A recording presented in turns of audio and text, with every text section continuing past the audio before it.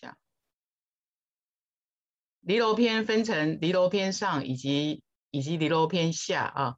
那离楼篇上有二十八章，离楼篇下有三十三章啊。那孟孟子圣训选读啊，呃，等于说孟子圣训的呃卷三啊，就是从离楼篇的上选一章啊，二十八章当中选一章而已哦哈，以及从离楼篇的下选一章，三十一章当中选一章，等于说总共六十一章里头选两章。那我们呃上一次已经把呃离楼篇上的这一章哦上到快要结束了啊，那我们就是呃来复习一下，来复习一下啊，呃离楼篇上的啊，先佛就是选的这一章啊，爱人不亲反其人啊，就是说我们想要对人家好，但是人家嗯人家不理不睬，人家。人家不买账哈，那这个时候我们会觉得有点受受挫，想说我是一片好心，为什么我想要对人家好，人家会这种态度呢？一般情况会都会去责备人，责备对方，觉得说对方真的是，呃，就有一些形容词了啊。但是呢，呃，孟老夫子说呢，我们想要对人家好，那人家不以为然，不不肯接受。我们不能去责备对方，而应该要反省是不是自己的人行的不够啊？那治人不治，就是说我们想要去教化啊，所谓教化众生啊，就是说你要去宣扬道理呀，哈，呃，宣扬真理呀，啊，去讲道，去度化众生啊。但人家不受教，不受教不能够责备人家根基不好，应该反省说自己的方便法门不够，自己的智慧不足啊。礼人不达反其境，我们对人家很有礼貌，但人家。啊，譬如说，啊，早上啊，你跟人家说啊，谁早啊？啊，那人家好像视若无睹哈，一一副很高傲的样子哈，或者你在路上跟人家点头打招呼，人家视若无睹。一般情况会觉得说，这个人怎么这么不礼貌呢？哈，但是呃，一个想要修道的人呢，他应该要反省自己，是不是我的诚心敬意不够啊？总而言之呢，行有不得者，都反求诸己。那如果我们行得很正的话呢，全天下都要归纳到我们自信里面来的，全天下都要归顺的啊。这个可以说是，你看哦，这一章里头啊，可以说是前后两个极端。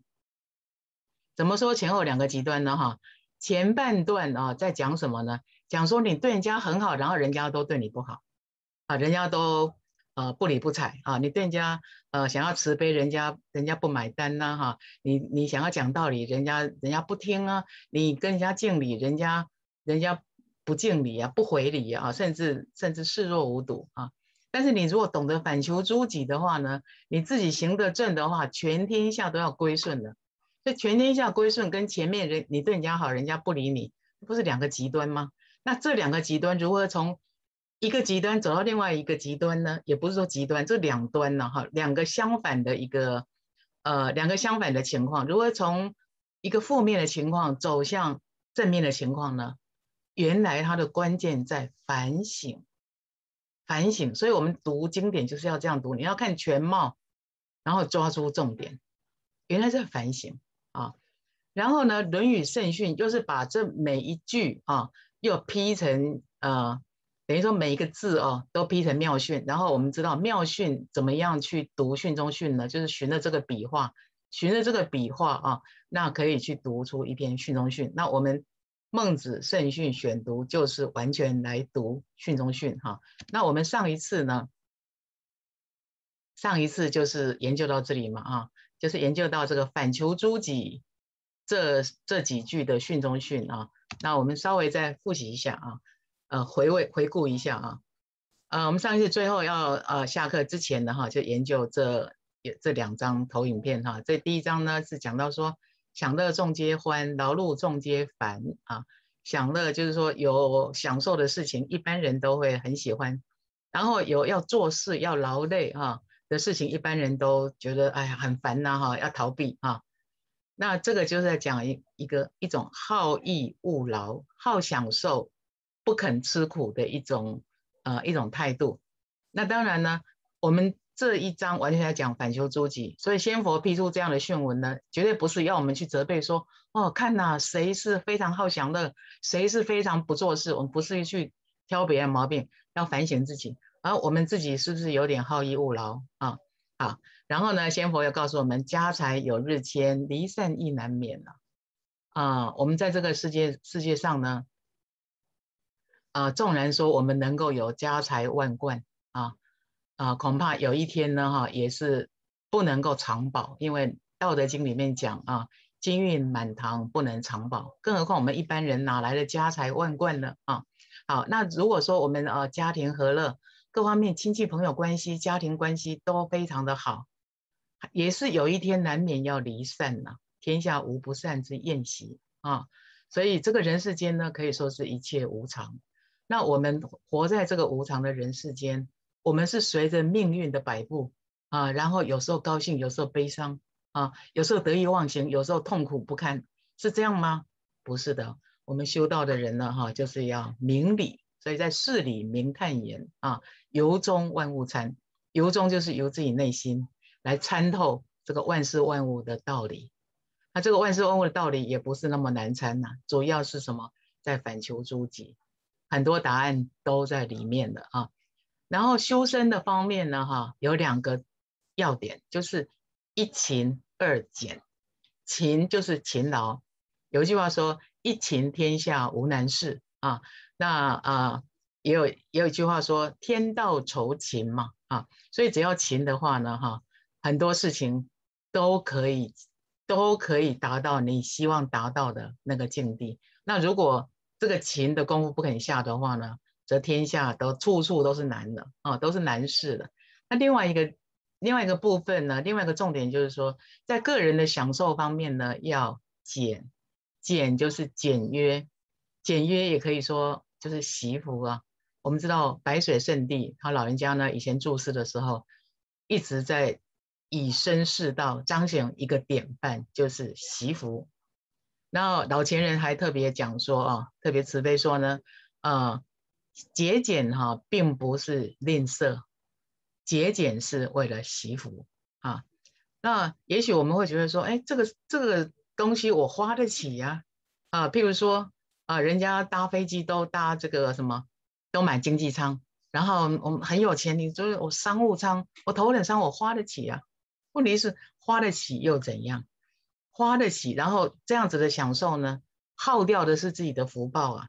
所以一般人不明理也就算了哈。我们修半修道半道人呢，应该要了解啊，呃，修身哈，自自己日常生活就是以勤以俭啊来自处。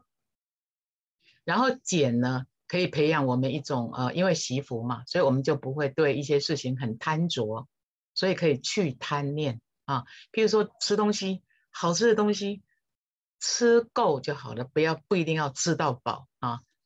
那各方面的享受也都也也都是这样子哈，就适中就好了啊。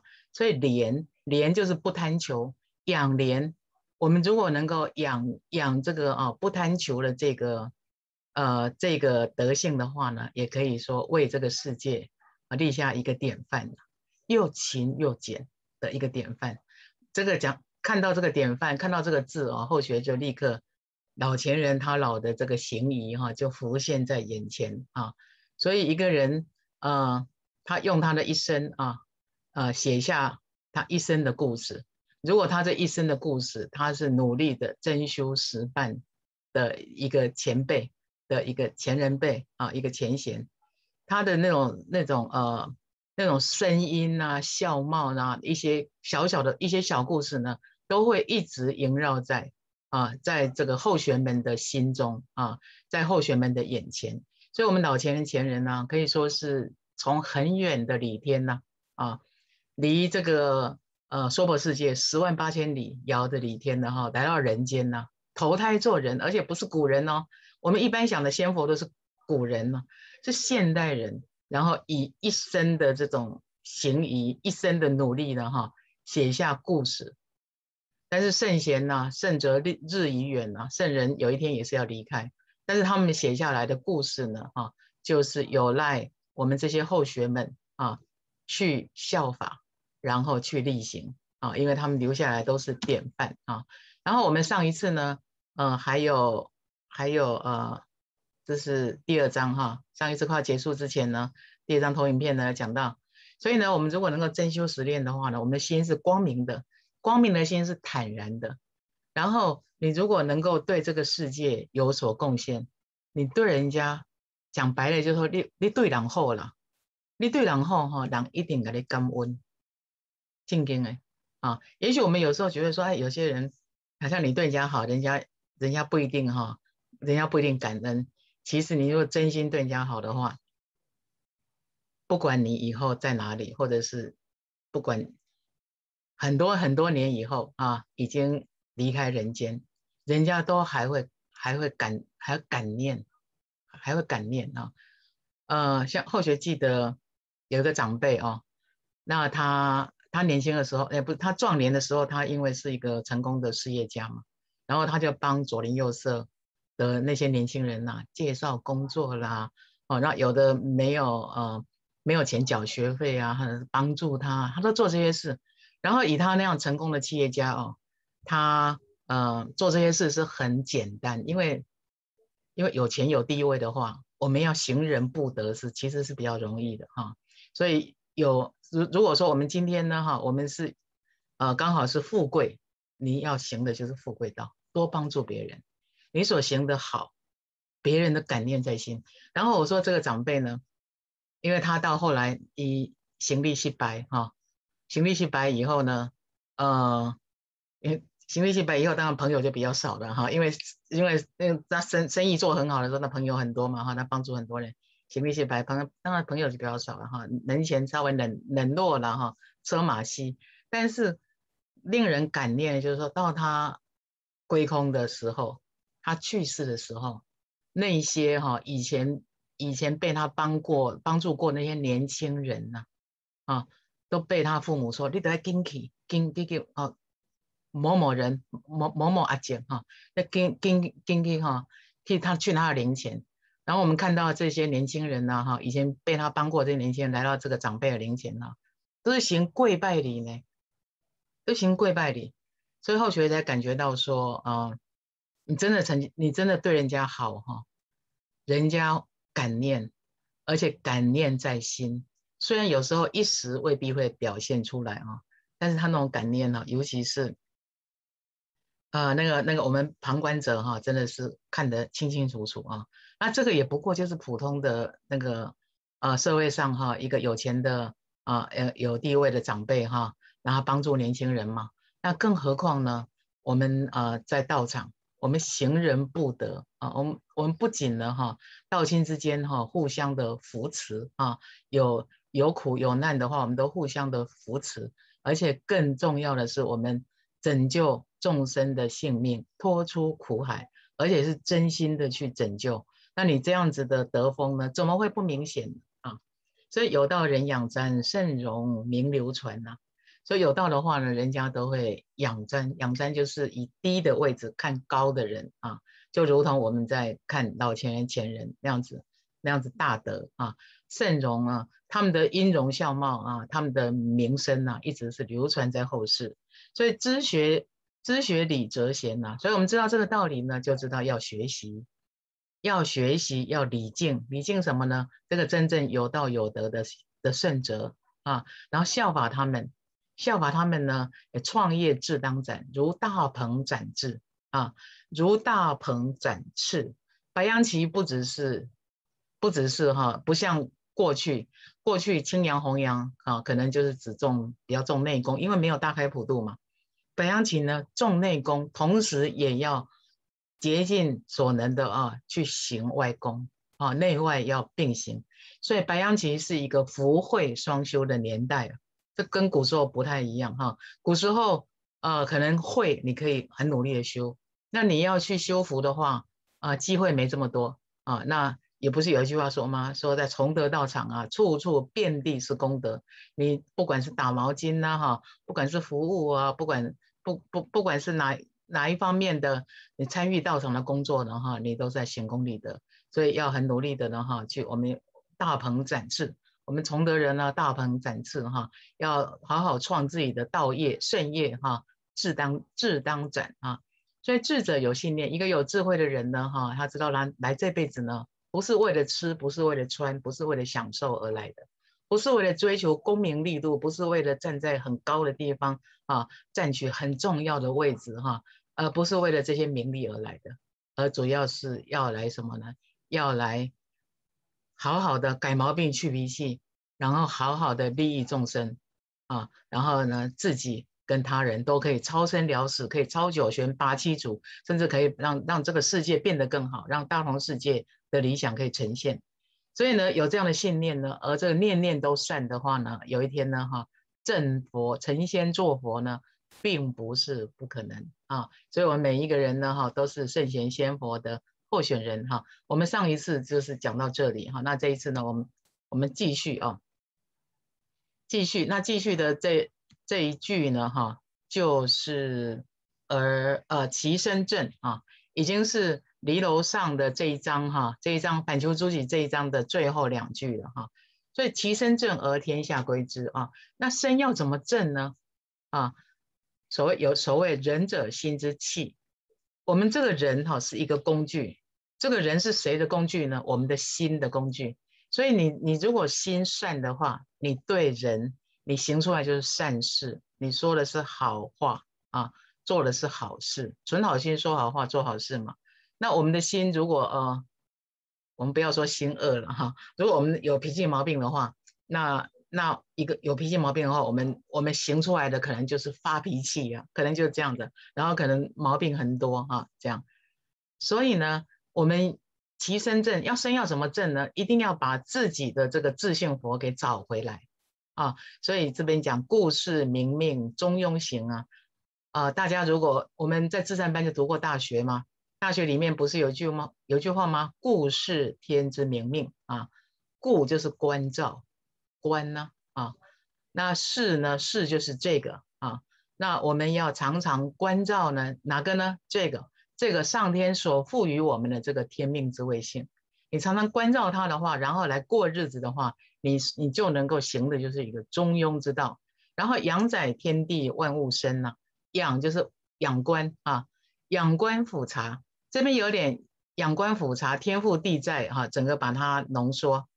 仰观俯仰观上天哈，俯察地，然后看到天赋地在啊，这边浓缩成仰在啊，仰在天地万物生哈。我们观察天地，看到呢天之高明，地之博厚，然后万物呢都生在都生存生存在这个天地当中啊。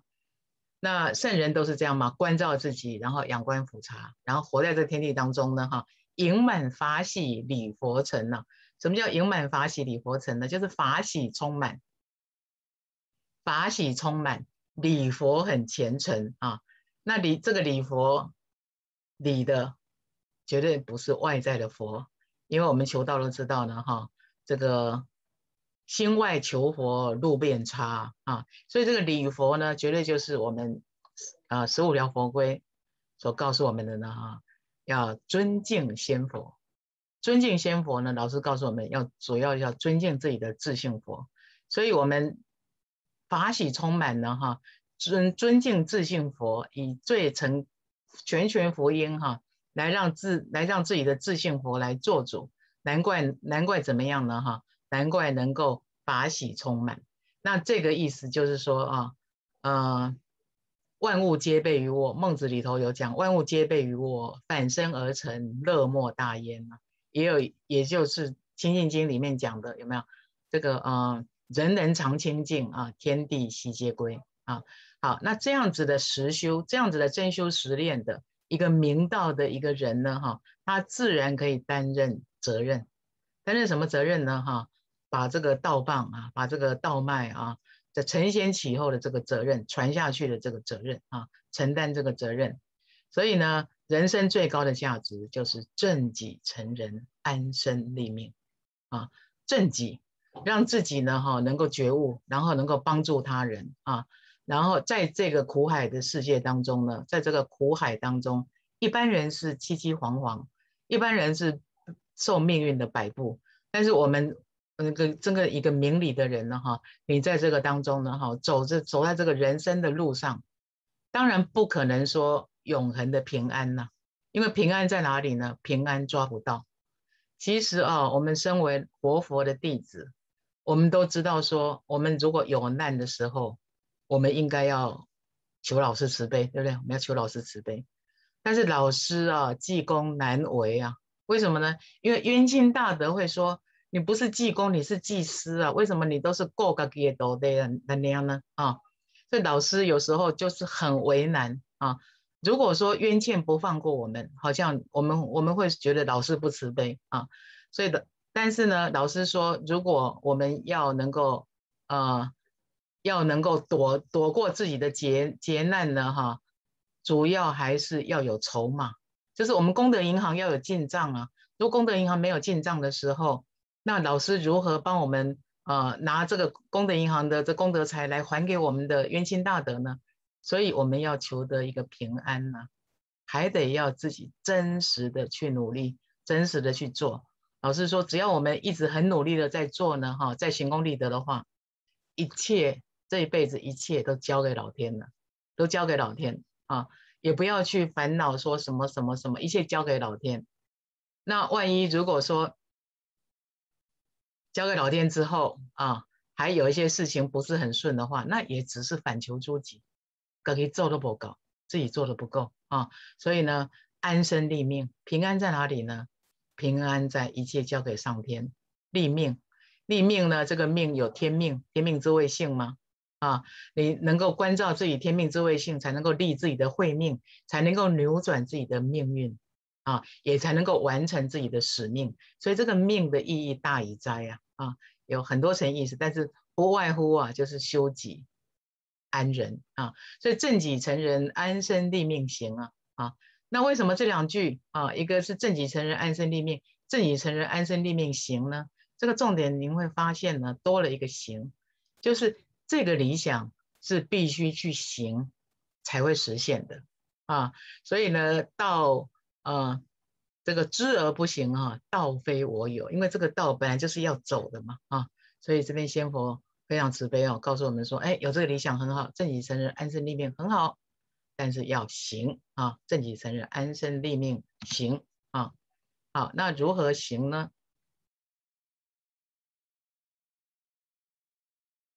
修道修心，守道之意呀，还是从最朴实的地方开始啊，并不是说行哦，马上就哦登上一个高位，然后很了不起，还是从修道修心开始，守道之意，守住自己应该应该守的道啊，诚心报守嘛，然后知道什么，知道自己应该要做的事，义义者宜也，义者宜也，我们该做的事呢，哈，该该。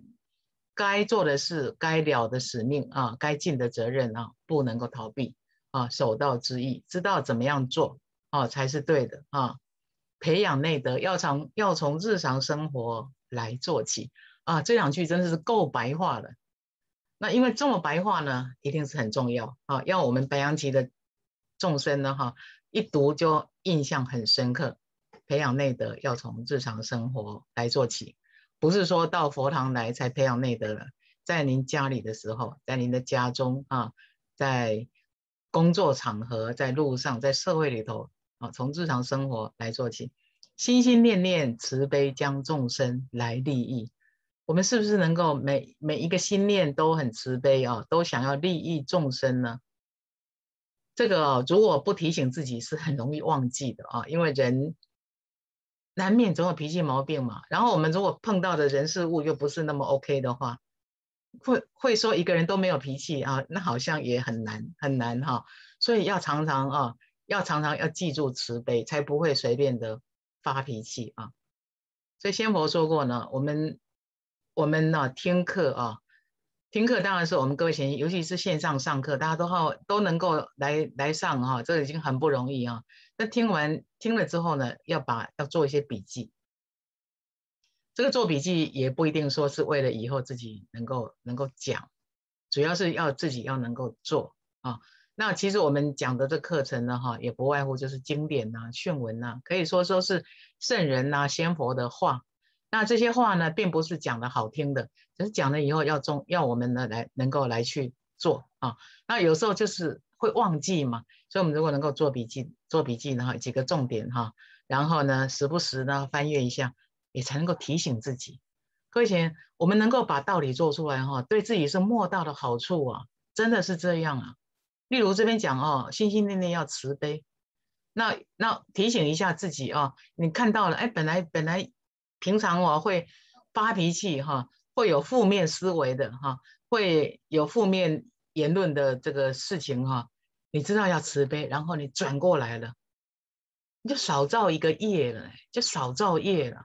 仙佛说啊，我们功德银行的里面的功德财啊，也会被我们花掉哎，啊。不是说只有在呃我们逢到这个劫难的时候，仙佛帮我们拿去呃还给我们的冤亲大德来拨转，不只是这样而已。平常我们也会把自己的功德财不小心花掉，什么时候花掉呢？例如我们在背后讲人家是非啊啊，然后就是身口意三业，尤其是口业，口业呢很容易造，然后口业造的时候呢，就把自己好不容易行功立德啊。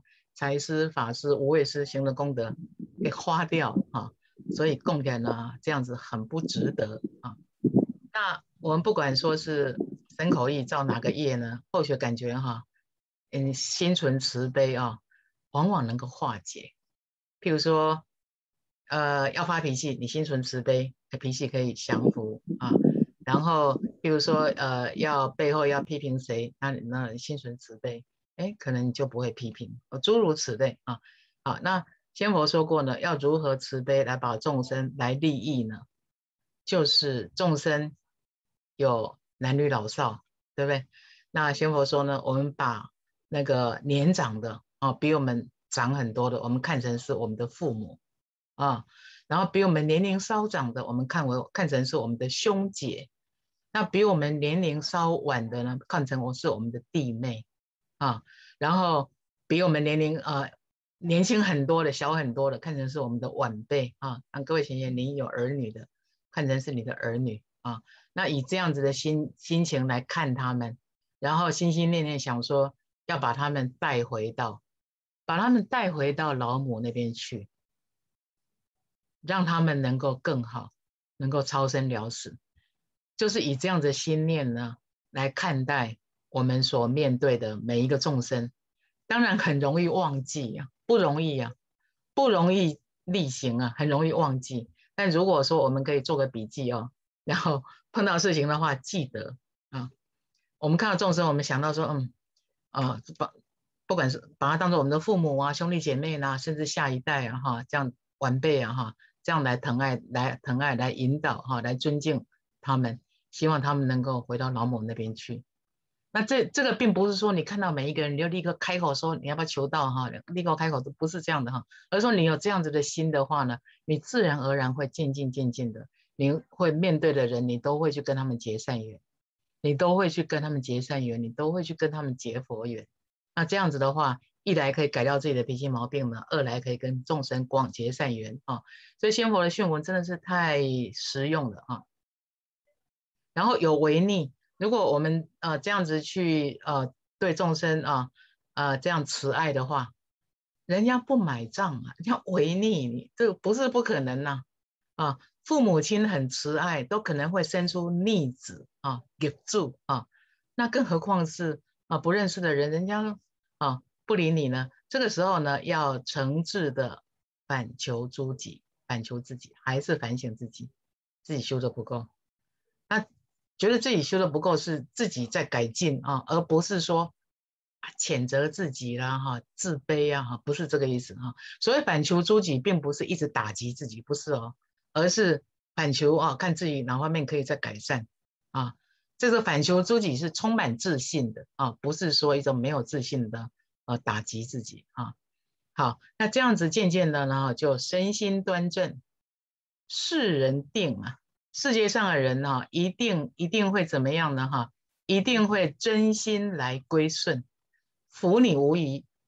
哦，各位贤贤，这一面哈，真的是太白话了，而且仙佛讲到用一种很绝对的口气，服你无疑，无疑哈，绝对不会不服你，绝对会听你的话。哇，那可见呢，如果我们去呃渡人成全人，人家不听我们的话啊。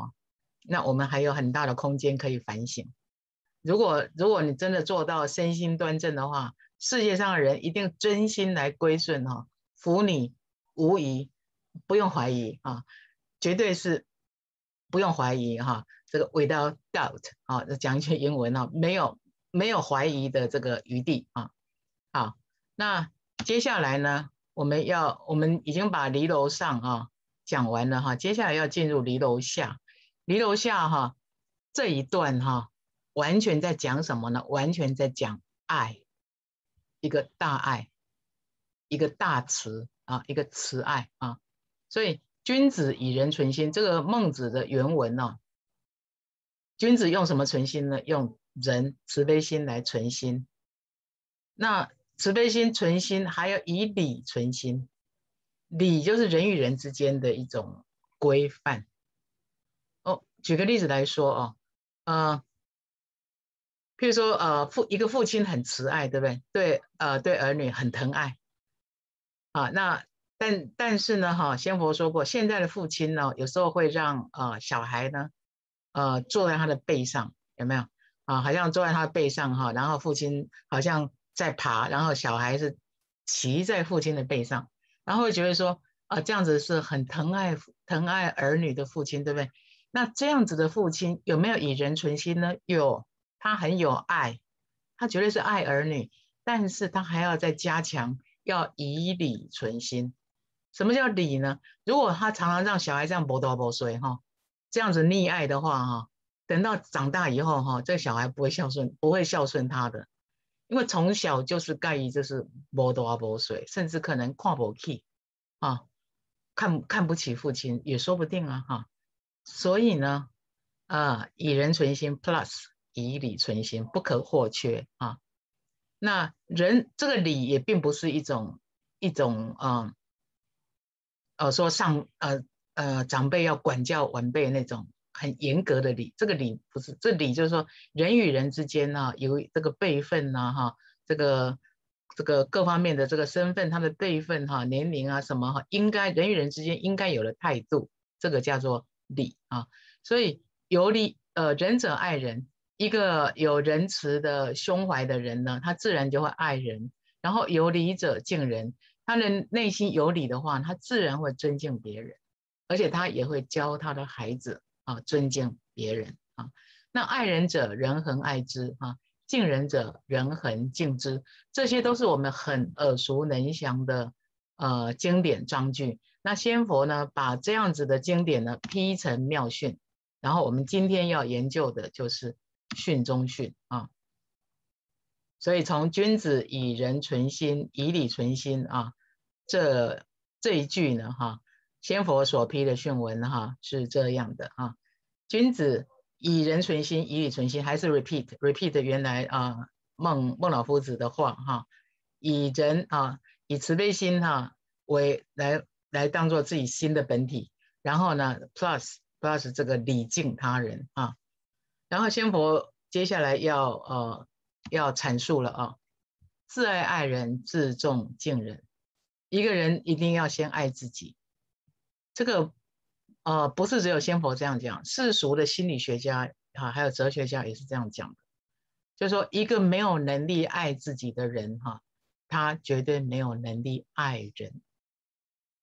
他要能够爱，要自爱，自爱不容易啊。自爱不仅仅说呃是呃照顾自己的身体，他还要照顾自己的德性啊，他照顾自己的品格啊，照顾自己这个人的人格。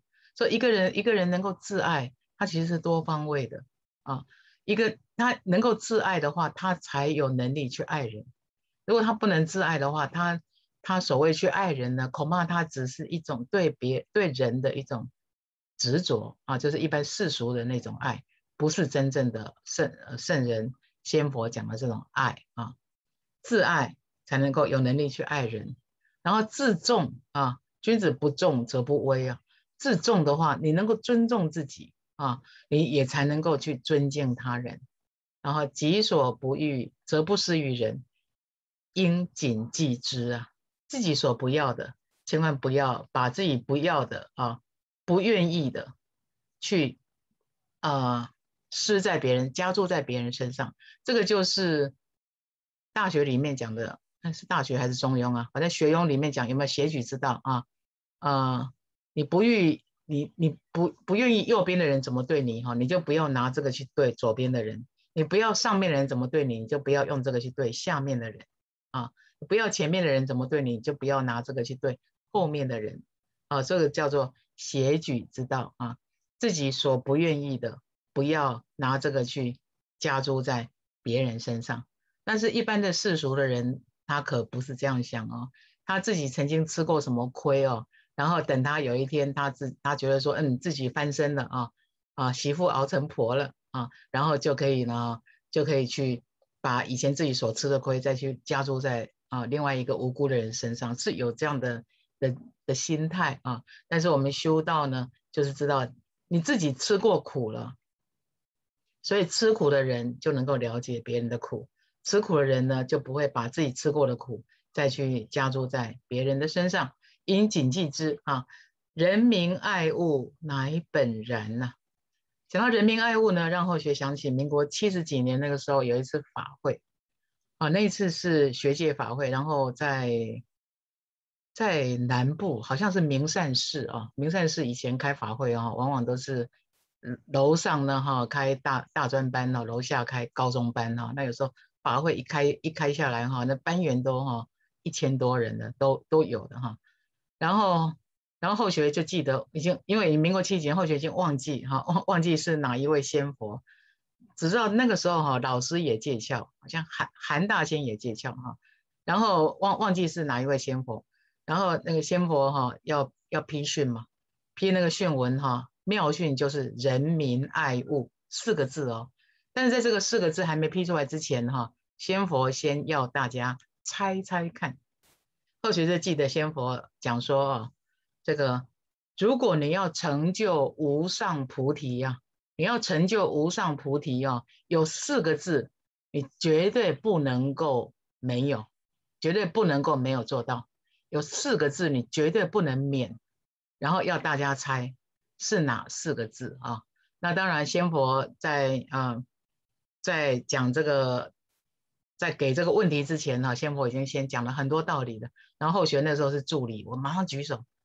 啊，马上举手说，然后仙佛慈悲说，啊，要后学回答，后学就回答说，人民爱物，然后仙佛说答对了啊，那因为啊印象很深刻哦，所以这个这是这四个字啊，印象深刻到现在啊，那人民爱物是什么意思呢？人民爱物就是爱心普及众人，然后推及万物，不是只有在众人而已。要推及万物。那各位贤贤，其实我们看到“人民爱物”这四个字哦，你会发现哈，我们在道场上办道，就是在例行人民爱物。你想，呃，救人一命啊，胜造七级浮屠啊，这句话大家都知道。那这个还是只救普通人，救普通的这个生命哦。那我们救人性命，脱出苦海。这个功德呢，绝对是更胜过哦造七级浮屠。所以你真正爱一个人哈，就给他最大的好处呢，莫过于能够把他送回李天了啊。所以我们在道场上一直在推广的啊，一直在在渡己渡人的这一部分，不就人民吗？而且道亲求道之后，由于受到名师一指点呢，啊，这个天命啊，天命名师这一指点的这个。功能性非常的 powerful 啊，这样子的加持啊，可以说是本心哈被唤醒了，所以我们道亲呢学习吃素比较容易，比较容易，在这个吃素这一部分呢，就是直接影响到这个地球上的动物的命运呢。如果人民呢，人们呢，因为人们是强的嘛。人们不要弱肉强食，人们不要去宰杀那些无辜的动物的话，而把那些肉当作是我们的的这个呃佳肴的话呢，那这个世界上的动物呢，就后面啊呢，他们就能够安养天年啊。所以人民爱物，这个在道场上的办办道呢，真正能够真正能够做到人民爱物。这个爱物并不一定，并不是指说哦去。收养一个宠物啊啊，并并这边这样都还是小事啊，主要是我们能够让更多人能够求到啊，他们的良心能够被唤醒，然后让这个世界上的这些动物呢，能够能够解脱吧。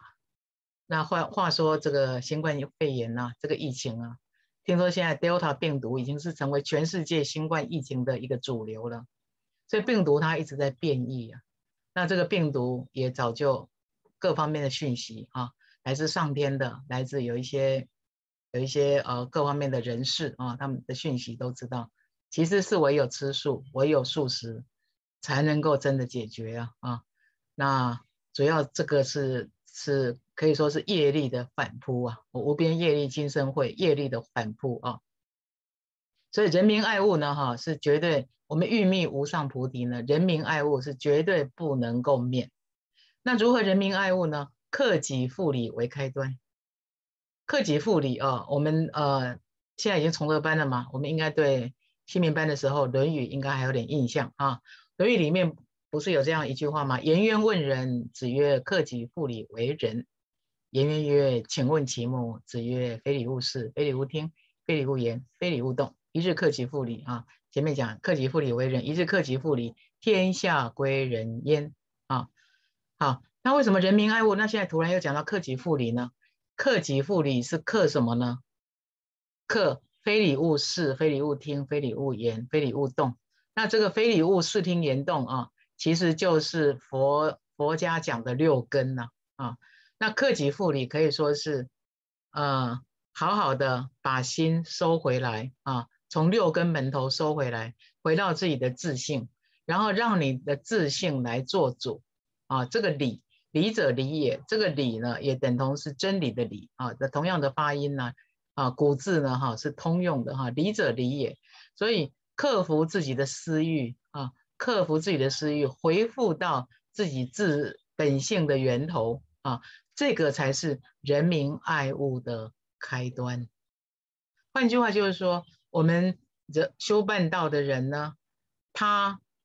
的外功呢，就是尽量的把道推广出去，对不对？度更多的人啊，然后让这些更多的人，他们都能够良心被唤醒，然后让这个世界上的动物呢，哎呀，才有个好日子过嘛，是不是？人民爱物啊，啊！但是我们要把这个道物来推广呢，我们这棵大树就好像你在种植一棵大树，这棵大树的根呢，就是我们的克己复礼，就是我们的心性。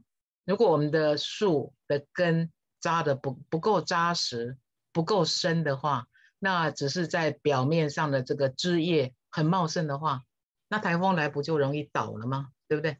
所以人民爱物乃是我们本来应该要做的事情啊，而克己复礼呢，才是这个根根是开端嘛，克己复礼为开端啊。好。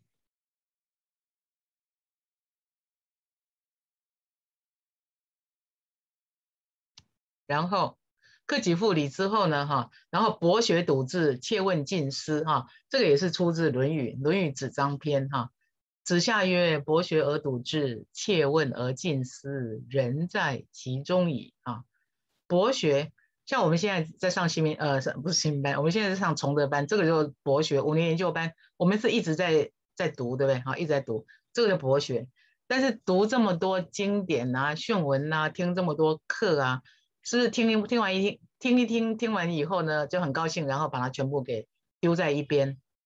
不是的，呃，我们应该做的笔记哈，一点点哈，但不是长篇大论的笔记的哈，自己应该注意的啊。比如说，我们应该以人存心呐，啊，我们要以慈悲，然后对看待每一个众生呐，心心念念哈。例如一些仙佛讲的哈，这个很很简单的这个道理，但是很实用，要把它记下来啊。然后笃志。这个时候呢，志向笃实来力行，志向笃实来把自己的所学的道理呢，来给行出来。呃，切问是什么呢？切问就是切实的去追问哈，这个根源。什么事情一定有个源头嘛？啊，例如我们人，我们人有自佛性性，还有我们的心，还有我们的这个身，有信心身啊，那。这个性呢，哈，自性呢是源头，所以修道修心，我们常说哦，修道修心，修道修心，所以我们要存好心，做好事啊，说好话，度好人。那心要怎么样才能够好呢？心的源头在哪里呢？这个就是要追问的嘛，切问啊。那我们求到了，我们知道心的源头，我们知道了第一宝，好好去参悟参悟。所以静思，静思啊，就是把心收回来，这样子一件的啊，博学笃志哈，我们要行的这个呃人民爱物的这个大事呢，并不是我们一天到晚把心放在外面游荡可以做得来的，所以一定要把心收回来。不是有一句话说吗？以前老前人常勉励我们呢，这个道在自身，身外无道。所以，我们虽然说我们要广度众生啊，但广度众生，我们并不是把心在外面一直游荡啊，这样子能够度得来。如果我们的心自己没有办法掌握住的话，去度化众生呢，恐怕恐怕说服力也不高啊啊，恐怕不能够长久啊。所以呢，这个圣业哈还是要扎根哈，根在这个心性啊。所以博学笃志，切问近思，切问这个心性的根源。而且近呢，近就是很近的地方嘛。道在耳而求诸远，这个经典不是讲吗？道在很近的地方，可是人们呢，却常常把它在很远的地方去求。所以我们一定要把心收回来，然后才能够发扬天性之美好，回复到纯真。善良，人我一体，相亲相爱无分别。当我们能够跟看众生啊，感觉到能够相亲相爱无分别啊，我想已经回到你已经明心见性了，明心见性了，一切人我相都尽除了。当然，这不是刹那间一触可及，但是这终究是我们的理想啊，终究是我们应该要去，应该要去达到的啊。好，接下来这这个哦，因为呃大家的书哦，有时候逗逗点分段落哈，有点像理也哈，应该是理也是形式之法则了，所以理也应该是要排在这一行的这边哈。理是什么意思呢？理它是形式的法则啊啊，例如说我们刚刚呃课前开始，如果我们是实体上课的话，我们一定是。一二三啊，对不对？我们等一下下课也是一二三，光是这个很简单的礼，这是一定的法则。那我们实体上课的话，我们还要恭迎佛教，还要恭送佛教。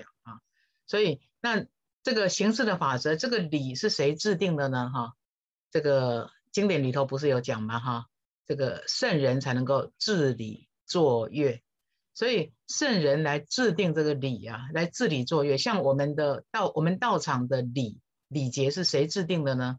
是老师啊，老师天然古佛啊，天然古佛师尊啊，在这一辈子的时候，工厂主的时候呢，就做了一本暂定佛规啊，那所有道道场大致哈的礼节都出来了，然后后来呢，当然又有一些啊，有有一些呃，等于说是 modify，譬如说呃，像我们譬如早晚礼，对不对？早晚礼我们我们后来哈有。呃，白水圣地、不修习菩萨啊，还有白羊大仙。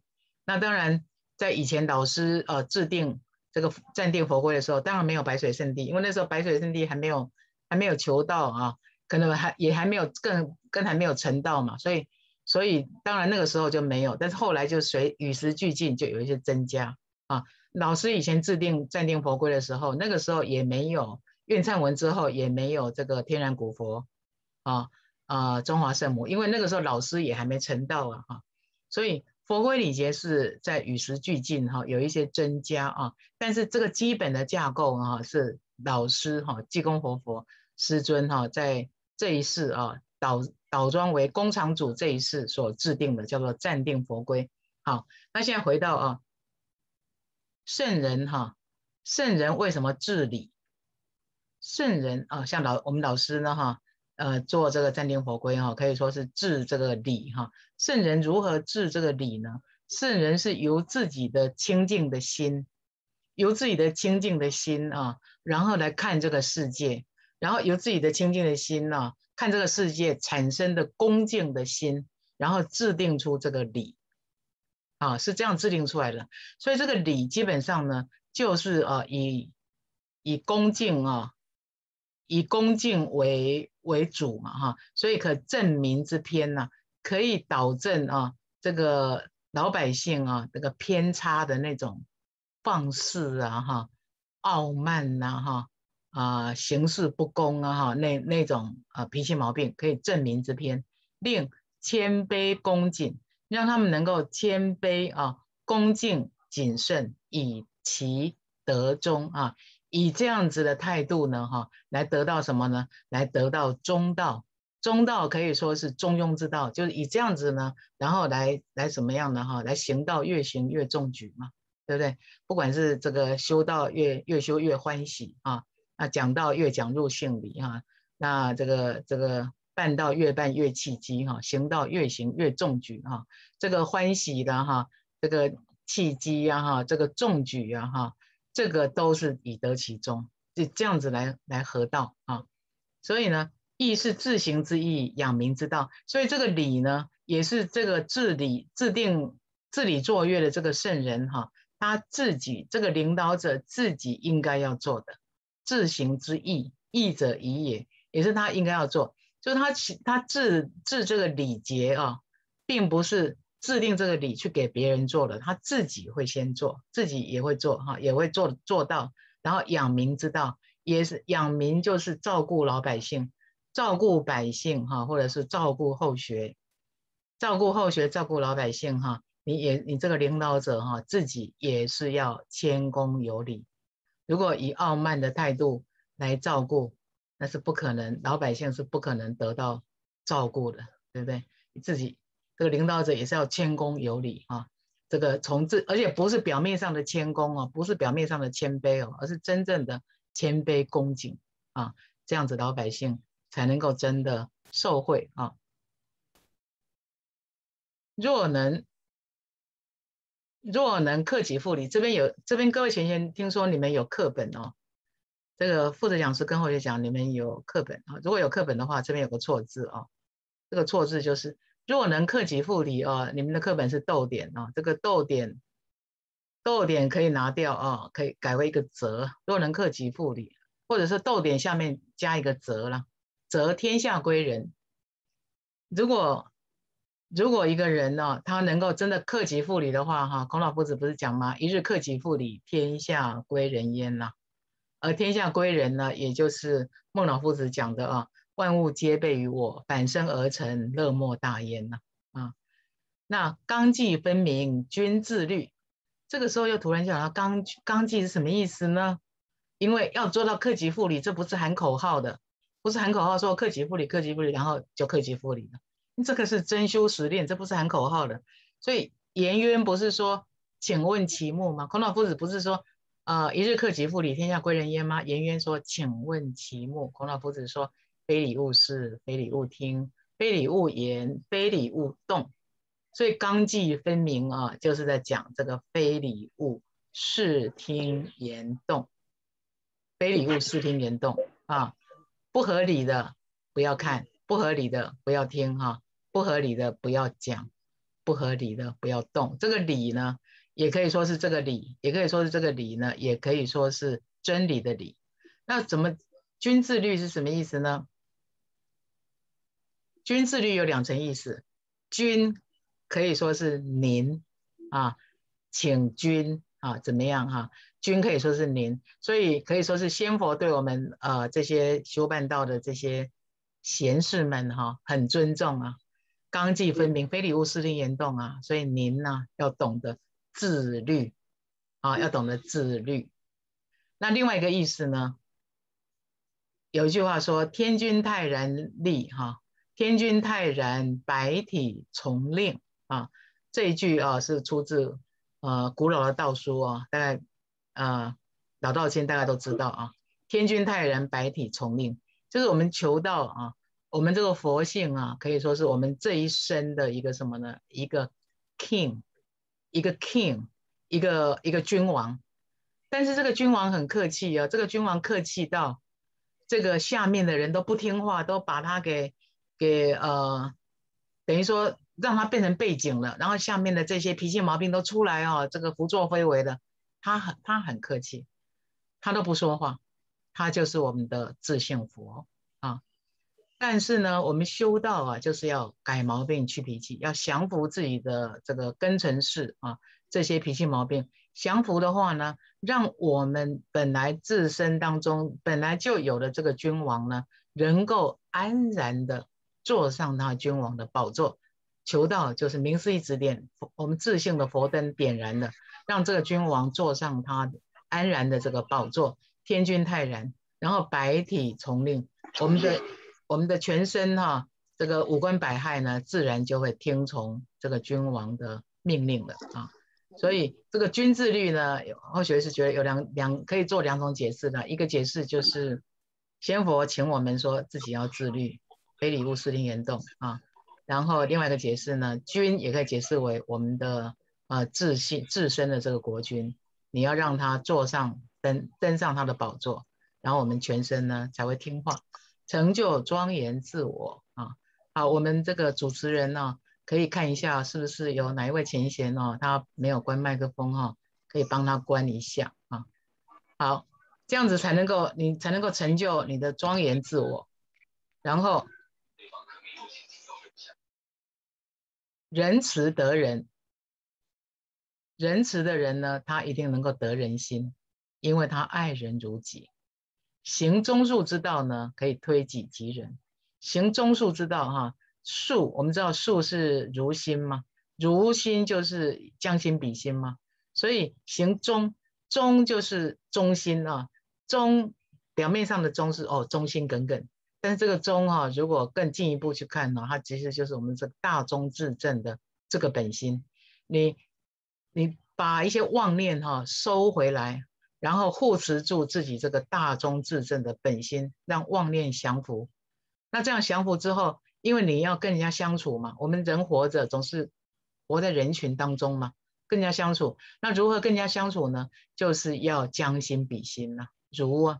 如数数就是如心嘛，就将心比心，所以要推己及人，能够明白这个道理呢，能够成就这个事情啊，成就上天哈，能够成就仙佛要我们做到的啊，这个这个境界呢，则你的气度呢就能够恢宏，你的涵养就能够深厚，你就能够知命乐天，你就能够乐天知命，能够把爱传遍，你也足以让世人启发善良的。本性可以足以让世人启发善良的本性了啊！所以接下来啊，接下来这个训文呢，非常的白话。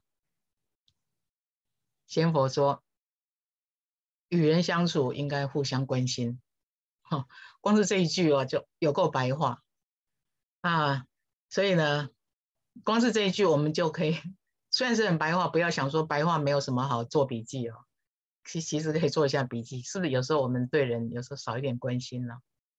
啊，像现在以前呢，呃老以前呃古老的社会见面呢都求救门，你假爸爸哈假爸爸，起码求救门弄弄嘛求救门上面你打疫苗了没有啊？啊，那有没有什么副作用啊？哈，没有，只是说。生活上哈，互相的关心呐，与人相处啊，彼此敬重，视人如同手足般呐。那这关心也不是呃没有分寸啊，彼此还是要敬重，也不能太扣袖啊。那看人呢，如同自己的手足，就是兄弟姐妹一样，真心来对待，谦恭有礼，由内而外，表里如一。由内而外，就是说我们的谦恭有礼哦，不是装的，不是做标兵，而是我们里面真的就是对人家就是这么样的恭敬啊，就是这么样的谦恭有礼。接下来这一段啊，有各位前贤的课本有几个错字哦，这边呢，无有过与不及，而这样谦恭有礼哈，无过与不及，也不用做的过度。做的刚刚好哦，没有过与不及，让这个世界充满了和气啊，充让这世界充满和气。这各位前贤的书哦，呃，少了一个这，您您的书是则可以让世界充满和气，让这世界充满和气。有礼君子，自重敬人，有理的一个有理的一个君子啊，他是自重，然后尊敬别人。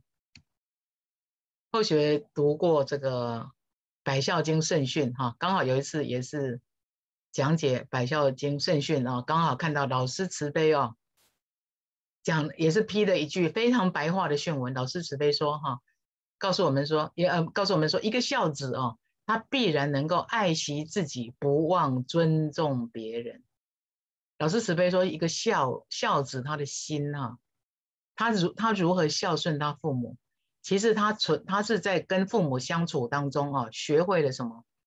因为一个人从小啊出生呐，出生以后哈，第一个接触到的人呐，或者说是第一个接触第一个接触到的一个人际关系哈，就是自己的父母。虽然那个时候自己还是 baby 啊，那父母是是父母哈。那渐渐的自己长大，慢慢慢慢长大，父母就是我们的这个小的社会，这个小孩子这个社会里面一个重要的一个人际关系。那孝顺父母，他要学习的就是一个一个孝顺的孩子，他懂得他要爱惜自己，每一个人都要照顾自己，对不对？但是照顾自己当中哦，不要忘记要尊重别人，所以自重敬人啊，所以这个跟。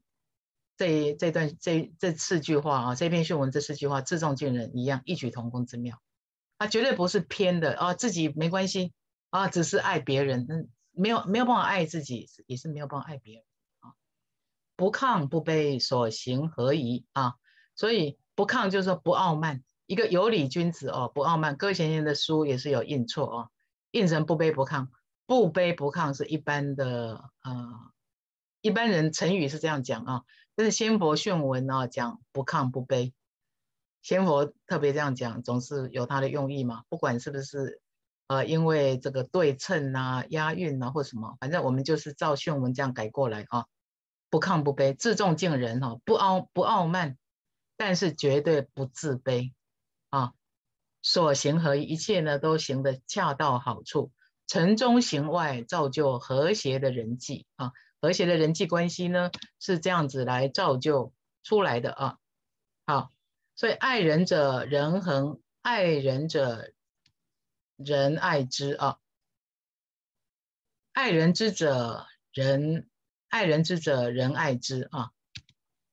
内在诚恳真君子，一个真正爱人的人呢，别人一定是爱他的啊，因为他是内在诚恳的一个真正的一个君子，态度温和来应事。合情合理，不偏执，不偏执就是不固执己见哈。为了一点小事跟人家一直争论，一直争论哈，这个叫偏执啊。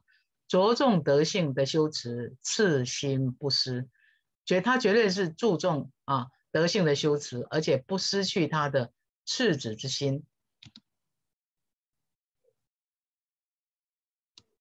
然后呢，只有真正的自爱，才会去爱别人啊。这边。先佛讲出答案了，真正的自爱才会去爱别人，也唯有真正的爱人，才能够得到他人的敬重。所以各位贤贤，为什么呃敬人不敬反其敬啊？啊，那为为什么我们对别人有礼貌呢？人家不人家不回礼，我们要要反要反过来反求一切要反求诸己呢？因为唯有真正的爱人啊，才能够得到他人的敬重。哦，原来原来秘密在这里耶。所以我们没有办法得到他人敬重，就是我们爱人不够啊。所以仁慈有德之人呐，也能也会受到上天庇护照顾。所以，我们如何得到上天的照顾呢？在这个疫情当前的时候，我们如何保平安呢？我们除了诵经以外啊，行功立德以外，还更重更重要，随时随地呢哈，不要忘记培养自己的德性啊。也会就会受到培养自己的慈悲心啊，培养自己的德性，就会受到上天的庇佑与照顾，更能名留青史啊，名留历史呢，无上的尊荣啊。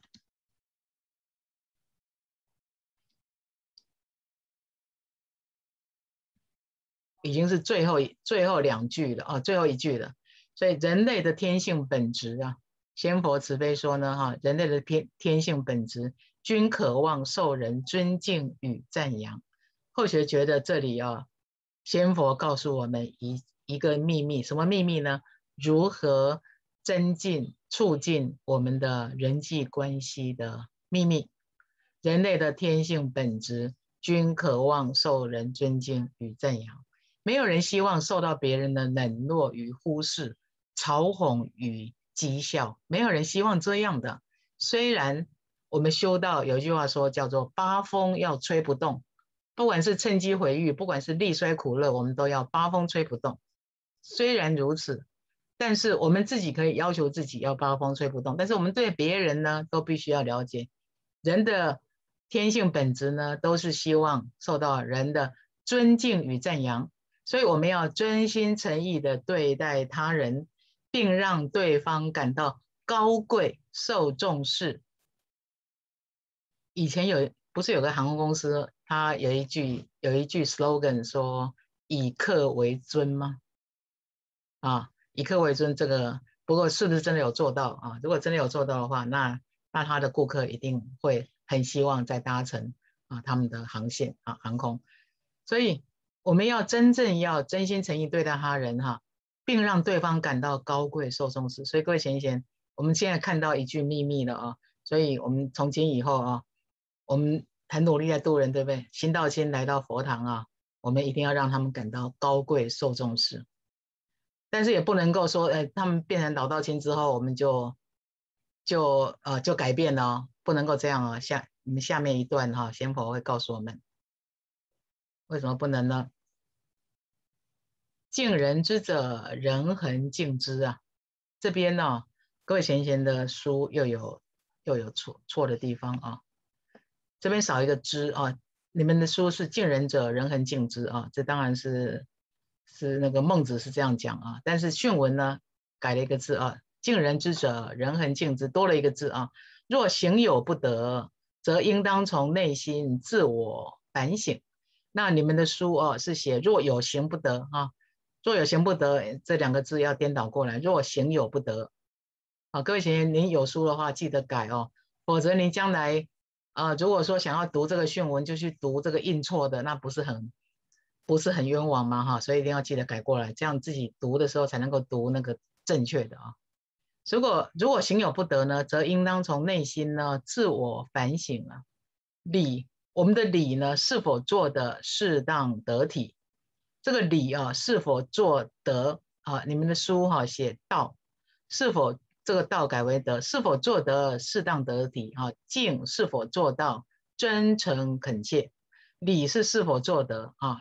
敬是是否做到？啊，当然要有点改，有点变化，不然的话就重复嘛啊。所以，如果说我们呃对别人呃礼敬，但是呢哈行有不得，反省了自己礼是不是做的很恰当、很得体呀？不不亢不卑，敬呢是不是做到真诚恳切啊？真的是从内心哦流露出来啊。礼敬众人，内外相同啊。礼敬众人哈，必须是内心跟外表一致。不是说我表面上我我装一下，然后我内在呢，其实其实很不以为然啊。如果是这样的话呢，那就不是一个真修的人了。所以礼敬众人，内内外相同，前后一致。这里前后一致，后学刚刚不是不是有讲到说有一句，等一下再讲嘛哈，就是说呃，刚刚不是讲到一个秘密嘛，每一个人都希望受到人家的尊重啊，所以我们要要让对方呢哈。啊，或者刚刚讲的说，我们要对要让新道亲呢，哈，感受到高贵啊，受重视。然后讲到说，那如果这边成老道亲呢，我们是不是就可以不一样呢？哎，不能不一样哈。这边先佛讲哈，前后一致。我们既然前面呢，哈，是让他感感到呢，哈，高贵受重视，我们是这样礼敬他嘛。那等到他后来变成老道亲以后呢，我们还是让他感到高贵受重视啊。当然。当然，运用之妙，存乎一心呐。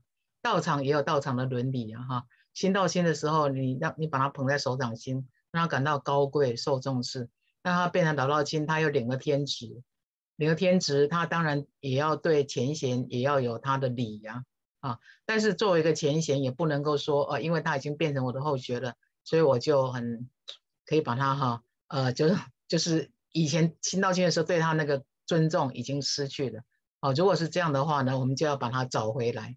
虽然说他还是要有一个后学的礼呢，但是我们内心里头对他的那个尊重是一直没有改变的。一个人他能够得到尊重的话，虽然他是后学，他一定能够感觉到更加的哈，更加的呃温温暖，而能够这个这个大道场的哈，就更能够像一个大家庭。所以前后一致啊。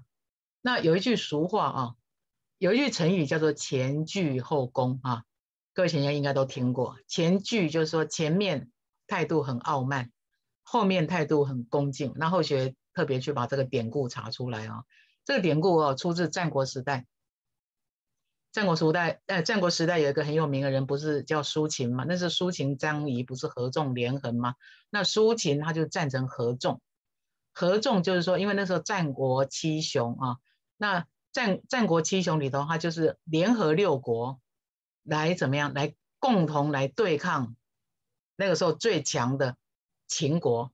秦国在西方嘛，啊，然后联联联合哈，在东方的这个六国哈，共同来对抗秦国。那他这个策略成功了哈，因为秦国呢啊吓到了。当然后来秦国又用了张仪，然后又把六国并吞了，那个是后话啊。在当初的在刚开始的时候呢，苏秦他就是联合六国啊来，然后来对抗秦国。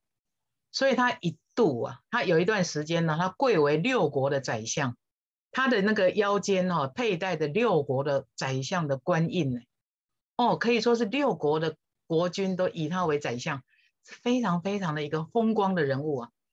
但是苏秦他不是一开始就这么风光，他一开始非常不得志，他讲的话没有人要听哈，然后家里人都瞧不起他，邻里的家人都瞧不起他，连他太太也看他。看他哈不顺眼啊，后来呢，他成为六国宰相之后，哇，情况大变呐。他衣锦还乡的时候啊，家乡的父老都在街道旁边呢热烈的欢迎。然后他的父母呢，在在三十里外的路口迎接他，就是离开家家离开家乡哈，到三十里外的那个路口哈来迎接哈衣锦还乡的这个苏秦哈。然后他的妻子呢哈。不敢看他，就跪在地上，俯伏俯伏在地，哈，叩拜，哈。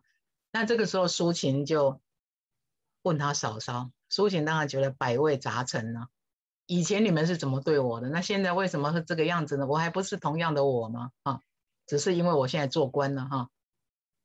苏秦就问嫂嫂，为什么你以前态度那么傲慢呢？现在又那么谦卑呢？就是问他嫂嫂，为什么你前倨后恭呢？他嫂嫂惭愧的说。哎呀，因为你现在是个地位前崇高啊、钱财丰厚的人呐，所以我们大家都这个哈，就是前后不一致啊。所以我们呃，如果看到，如果看，如果说苏秦他的家人啊懂了这个道理的话，在苏秦不得志的时候，他们绝对不会这样子瞧不起他，绝对不要这样瞧不起一个人。万一这个人以后翻身了怎么办呢？那那那个时候再来表现恭敬，那就显得自己太没有格调了哈。所以一个人的礼敬哈，内外相同，前后一致，定受尊崇爱敬。你能够这样子礼敬他人的话呢，别人也会用同样的方法、同样的方式、同样的高度来尊崇你、来爱敬你哈。那今天呢，讲到这里，居然刚好九点啊，本来是想说。如果时间还有剩哈，后学想要跟大家分享一个办事人员天职的书圣哈，不是不是自善班的这个这个呃教材了，而是另外后学找的哈。因为想到这个要礼敬他人嘛，办事人办事人员一定要特别的能够感受到这种爱人呐、敬人呐这方面的这个涵养与修持。但是既然时间到呢，后学就感到就赶快了哈，做个结束啊。如果讲的不圆满的地方哈，叩求仙佛慈悲赦罪哈，祝福各位贤贤哈，福慧增长，圣凡如意，身体健康，阖家平安哈，谢谢各位贤贤，谢谢大家。好，谢谢林讲师。